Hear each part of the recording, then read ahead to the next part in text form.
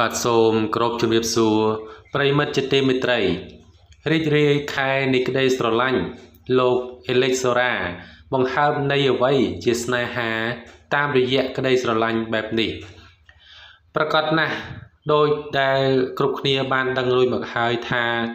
ខែកុម្ភៈនេះជាខែមួយ ដែលជារៀងរាល់ថ្ងៃ នៅថ្ងៃទី14 នឹងមានទិវានៃក្តីស្រឡាញ់ដែលមនុស្សជាច្រើនបានចូលរួមប្រារព្ធទិវានេះ ជាមួយគ្នានេះដែរថ្ងៃបុណ្យនេះគេតែងបង្ហាញក្តីស្រឡាញ់ខ្លួន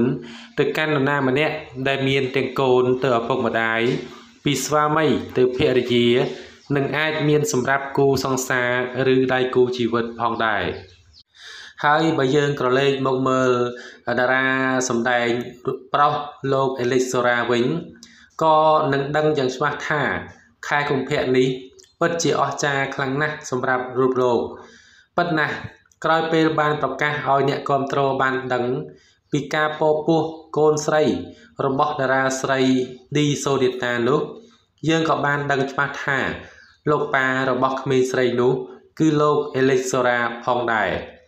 ទន្ទឹមនឹងនេះគ្រាន់តែបើកឆាកខែថ្មីភ្លាមតារាប្រុសរូបនេះ បានបង្ហាញនូវភាពផ្អែមល្ហែមរបស់ខ្លួន តាមរយៈឃ្លាខ្លីខ្លឹមមួយ ជាមួយនឹងអត្តន័យអ្វីទៅជាស្នេហាថែមទៀតគួរបញ្ជាក់ថាលោកបានសរសេរថាបើសិនជាអ្នកឃើញមនុស្សម្នាក់ទៀតមានស្នាមញញឹមហើយសើចរីករាយតែវាបែរជាធ្វើឲ្យអ្នកមានសេចក្តីសុខក្នុងចិត្តដែរនោះនោះហើយជាស្នេហា លោកក៏បានសរសេរបន្ថែមទៀតថា រីករាយខែនៃក្តីស្រឡាញ់ឌីសូនេតា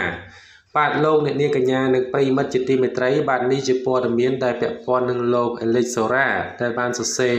បង្ហាញពីសេចក្តីស្រឡាញ់នៅក្នុងខែកុម្ភៈនេះផងដែរបាទសូមអរគុណប្រិមិត្តសម្រាប់ការតាមដានវីដេអូមួយនេះបាទសម្រាប់ពេលនេះដែរខ្ញុំបាទសូមអរគុណនិងសូមគោរពលា